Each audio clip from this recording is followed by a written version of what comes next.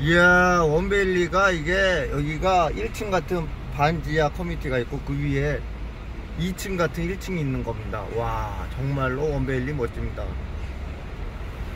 와 진짜 최고예요. 와 어떻게 이렇게 설계를 잘할 수 있냐. 야 원벨리 설계하신 회사가 어디냐면은 ANU 아 그리고 원래 3차에 설계사가 있었어요. 바호 그린 건축사 사무소.